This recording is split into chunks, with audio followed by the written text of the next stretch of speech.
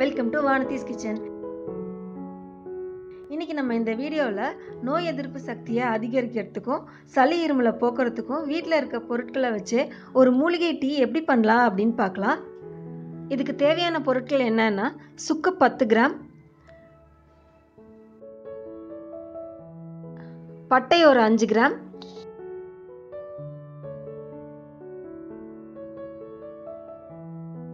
சித்தரத்தை ஒரு பத்து கிராம் கிராம்பு ஒரு அஞ்சு கிராம் எடுத்துக்கிறேன். இது எல்லாத்தையும் ஒரு இடிக்கிற கல்லில் போட்டு நல்லா இடித்து எடுத்துக்கலாம். இது எல்லாத்தையும் மிக்சியில் அப்படியே போடாதீங்க. இது எல்லாம் ஹார்டாக இருக்கிறதுனால லைட்டாக இடித்து அப்புறம் மிக்சியில் போட்டுக்கோங்க. மிளகு ஒரு பத்து கிராம் அதையும் சேர்த்துக்கிறேன் இதில். அப்புறம் இதோட கொத்தமல்லி இருபது கிராம். இது எல்லாத்தையும் நல்லா நைஸாக பவுடராக அரைச்சி எடுத்துக்கோங்க. இப்போ ஒரு பாத்திரத்தில் ரெண்டு டம்ளர் அளவுக்கு தண்ணி ஊற்றிக்கலாம்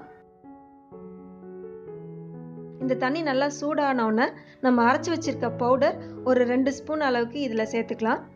இது வந்து இப்போ நல்லா கொதி வரணும். இதை ஒரு ஏர்டைட் பாட்டிலில் போட்டு வச்சுக்கிட்டீங்க அப்படின்னா டெய்லி தேவையான அளவுக்கு எடுத்து டீ போட்டுக்கலாம்.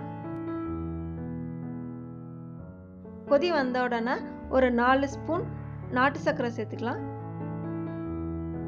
நாட்டு சர்க்கரைக்கு பதில் நீங்கள் தேன் கூட இதில் மிக்ஸ் பண்ணிக்கலாம்.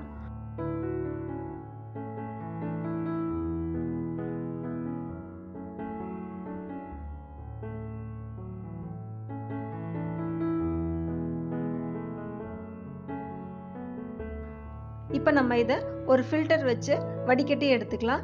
இப்போ அவ்வளோதான் நம்மளோட மூலிகை டீ ரெடி ஆகிடுச்சு இந்த டீயை ஈவினிங் ஒரு டைம் டெய்லி குடிச்சிட்டு வந்தீங்கன்னா சளி பிடிக்காமல் இருக்கும். நோய் எதிர்ப்பு சக்தியும் அதிகரிக்கும்.